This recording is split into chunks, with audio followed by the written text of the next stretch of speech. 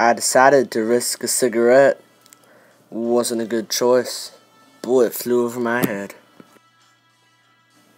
An old woman showed the enemy turret where I was. I had to kill them both. They knew too much.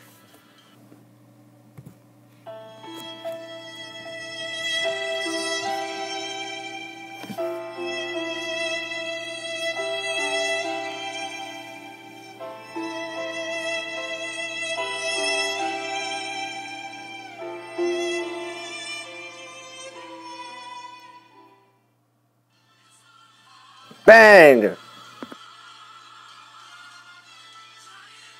He thought he killed me. He thought he won. Little did he know.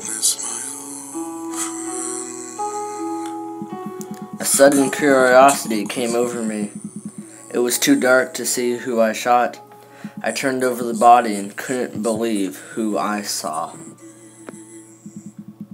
Lifted scenes while I was sleeping,